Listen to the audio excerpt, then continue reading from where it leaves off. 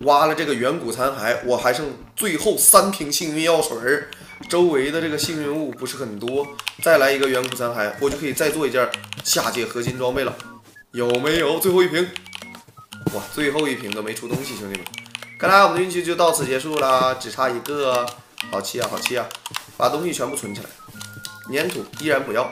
现在我们家里边还有俩，也就是凑够了已经啊。然后把旁边这点幸运方块挖一下。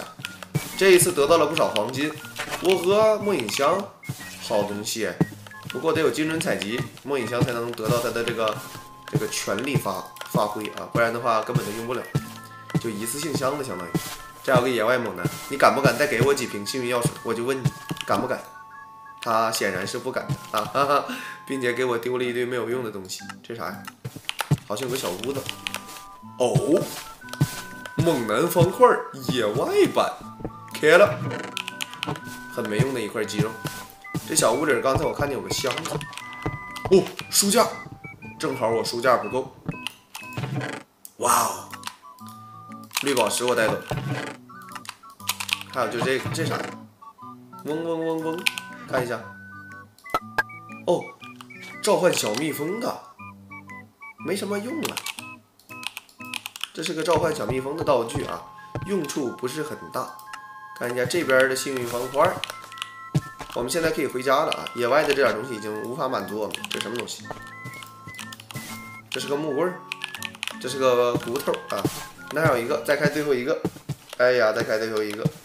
看着我们现在装备已经好，回家修一修，可以给他们开始附魔了。我有四十级啊，四十级一件一个还是够的，足够的啊！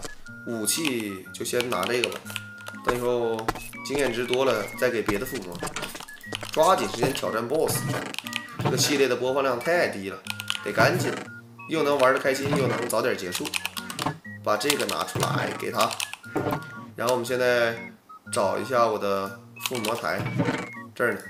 附魔台书架，我的书架好像在这儿。OK，我靠这些东西怎么自动归到这儿去了？我们还得再手动做点书架。一共得是十六个，一二三四五六，OK，这就是满级附魔台，兄弟们，走，把我们的满级附魔台摆上。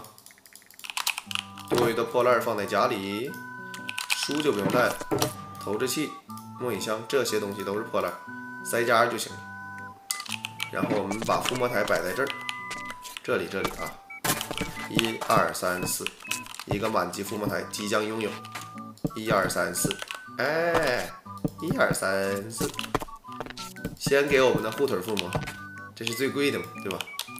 青金石，来拿一点，随便一分解，一组毒，装备拖一下。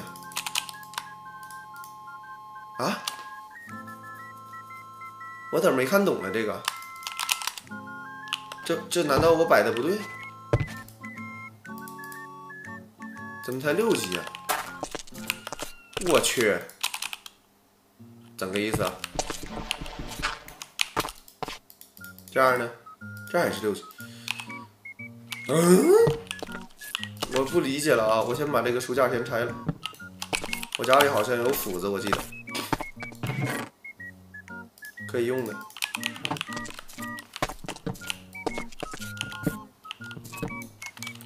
我们摆别的地方去。哇，有毒吧它？浪费我木板了。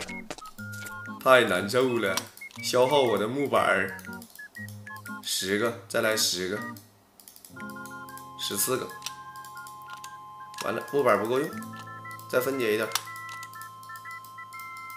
这不坑我吗？这不是，这上面总该可以吧？我们找一个绝对平坦的地方，这里，这里，这里绝对平坦。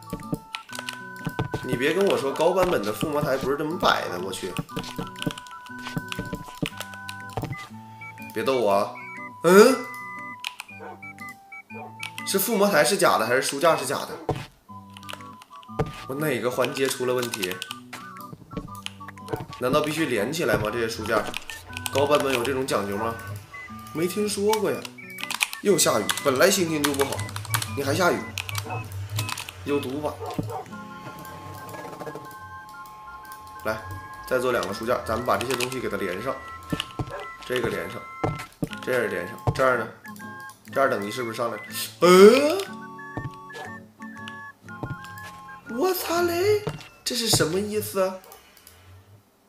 什么意思？这是？